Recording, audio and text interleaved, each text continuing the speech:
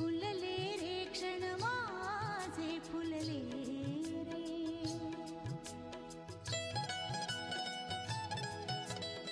मला तुमची जी जिद्द दिसते मला असं कळलंय की लता दिदी आजपर्यंत तुम्हाला असं कधी म्हणाल्या नाहीत की आशा तू चांगली गातेस. म्हणून जिद्दीने तुम्ही एवढे प्रयोग केले एवढं केलं.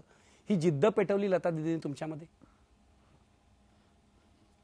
असं नाही म्हणता येणार की तिनं पेटवली. पण तिनं ज्या दिवशी म्हटलं की तू छान गालीस तर चांगलं वाटतं. आणि हाही स्वभाव नाही आमच्यामध्ये मंगेशकरामध्ये तोंडावर स्तुती करण्याची वगैरे नाही आहे ती मला कधी तोंडावर म्हणणारच नाही "हा, तू छान गालीस वगैरे असं. ती सवयच नाही कुणामध्ये. पण तिनं पेपरला आता दोन तीन वेळा दिलेलं आहे की तू चांगली मला बरं वाटतं. डुएट गाताना पण तिनं तुमची स्तुती लता दिदीने केलेली पेपरमध्ये वाचावी लागते. तिची पण स्तुती तिला पेपरवर वाचावी लागते मी बोलत तुम्ही. आणि दाद घ्यावी तर चांगल्या माणसाकडनं एका गायिकेकडनं. अशी दाद तर सगळे देतात पण तिची महत्वाची असते असं मला वाटतं. अच्छा ते तुम्ही आत्मचरित्र लिहिताय. असं खूप वर्ष मी वाचतोय. खरंच लिहिताय का? आणि ते कधी येणार आहे? खूप लिहिलेलं आहे मी.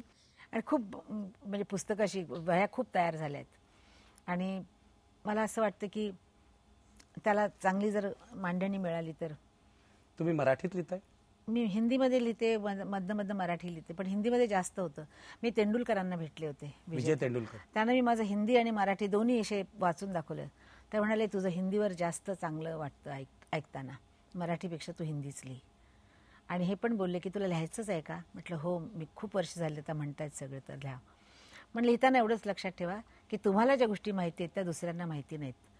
तर त्या तुम्ही आधी लिहित जा. फार छान सांगितलं त्यांनी. नंतर मला मिळाले नाहीत ते भेटायला. कधी येणार आहे हे आत्मचरित्र आशाताई? लवकर येईल आता. आता मला माझ्या मुलगा पण खूप मागं पडलाय सगळेच मागं पडलेत की आता थांबू नकोस. आशाताई गेली साठ वर्ष तुम्ही आम्हाला हे सगळं दिलेलं आहे एवढं सगळं भरभरून दिलेलं आहे. पुढची पन्नास वर्ष तुम्ही काय करणार आहात? मी जोपर्यंत गाते तोपर्यंत गात राहणार. निश्चित गात राहणार. आणि जर माझ्या माझ्यापासून नवीन लोकांना काही फायदा घ्यायचा असला तर त्यांनी जरूर प्लेबॅक सिंगिंग काय हे त्यांना कळलं पाहिजे.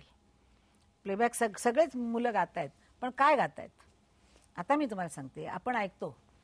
तुमच्या टी व्हीला शो येत आहेत सगळीकडे येत आहेत ती मुलं पास झाली त्यांचं संपलं की ते कुठे जातात?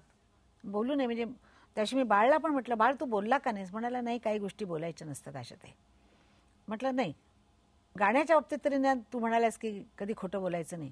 बाकी खोटं बोलू पण ते नाही बोलणार. म्हटलं मुली आता काही काही सुराला जात आहेत आणि तरी त्या छोट्या आहेत म्हणून तुम्ही त्यांना व्हावा म्हणताय.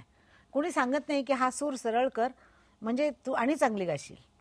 आणि हे तुला जन्मभर उपयोगी पडेल सूर चांगलं करणं. असं कोणी सांगत नाही. बेसूर आहे तर लहान मुलगी म्हणून टाळ्या वाजवतात सगळ्या. रे काय? कुणाला सूर कळतच नाही.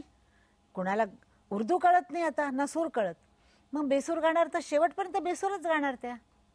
एकदा तुम्हाला माईक मिळाला एकदा तुम्हाला मीडिया मिळाल्यावर तुम्ही स्वतःला मोठं समजणार आणि त्यानंतर तुम्ही तेच गात राहणार.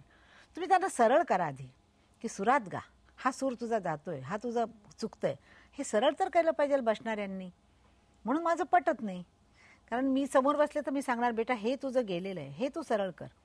दुसऱ्यांदा मला ऐको परत गाऊन सुरात गाऊन दाखव. असं. तर या गोष्टी जरा मला असं वाटतं की मी जर असेन तर मी हे सरळ करण्याचा प्रयत्न करेन. शेवटी तुम्ही लोकांना काय सांगाल? दुःख सगळ्यांना येतात. ते दुःखांना बाजूला करायचं आणि त्यातनं हसण्याच्या काय वस्तू मिळतात तेवढ्या शोधायच्या. आणि हसत राहा. त्याच्यामुळं तुम्ही सुखी राहाल दुसरेही सुखी राहतील तुम्हाला मित्र खूप मिळतील आणि खूप आनंदाने राहू शकाल. Thank you Ashatai. फुलले रे क्षण माझे फुलले.